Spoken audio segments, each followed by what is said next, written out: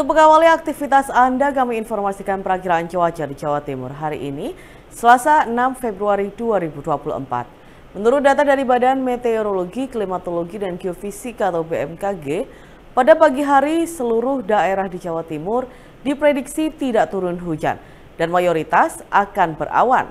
Hujan petir mulai melanda pada siang hari di 28 daerah, di antaranya Surabaya, Sidoarjo, Gresik, Bangkalan, Batu, Bojonegoro, Bondowoso, Jombang, Kabupaten Kediri, Kabupaten Madiun, Kabupaten Mojokerto, Kabupaten Pasuruan, dan Kabupaten Probolinggo. Lanjut di Kota Kediri, Kota Madiun, Kota Mojokerto, Kota Pasuruan, Lamongan, Magetan, Nganjuk, Ngawi, Pamekasan, Ponorogo, Sampang, Sumeneb, Trenggalek, Tuban, dan Tulung Agung.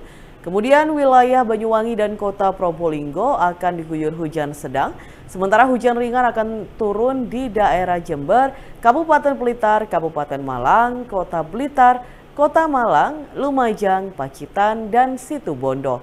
Pada malam hari hujan ringan masih akan turun di daerah Kabupaten Kediri dan pada dini hari tersisa wilayah Pacitan dan Magetan yang masih diguyur hujan ringan.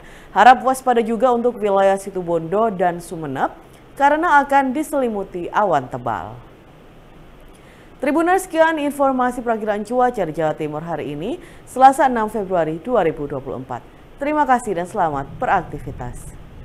Download Tribun X sekarang menghadirkan lokal menjadi Indonesia.